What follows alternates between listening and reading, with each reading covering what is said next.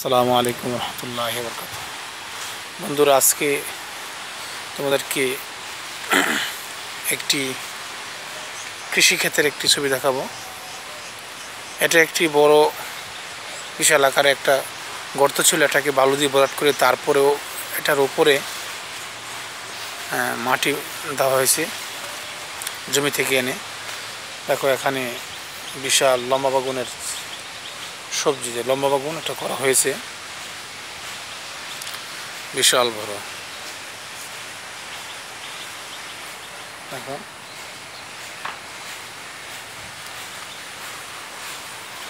আমি এবি মাজবা আমার কৃষি শিক্ষার ইউটিউব চ্যানেলের পক্ষ থেকে সবাইকে শুভেচ্ছা জানাচ্ছি এবং কিছু ফুলও ধরেছে, দেখো। ফুল আসতেছে। বাগুন হবে।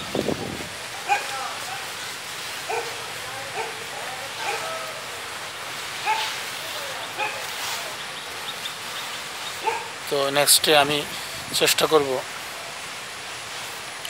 এই বিশাল ক্ষেতের পুরোপুরি ভিডিও দিতে। বিশাল বেগুন ক্ষেত এবং বাংলাদেশে এখন বৃষ্টি হচ্ছে। কৃষকরা কাজ করতেছে। এর পাশাপাশি, এর পাশে দেখেন বিশাল বিশাল লব্যা লব্যা বাজার থেকে কিনি। লব্যার চাষ করা হচ্ছে পাশাপাশি।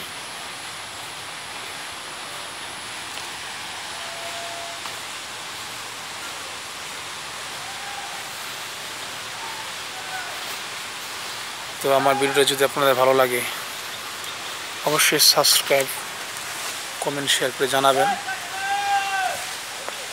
দেখেন, অসাধারণ লোকেশন, অসাধারণ দৃশ্য। আসলে বাংলার এই কৃষিক্ষেত্রগুলো দেখলেই জুড়ে যায়। বিশাল বড় লম্বা বাগুন ক্ষেত।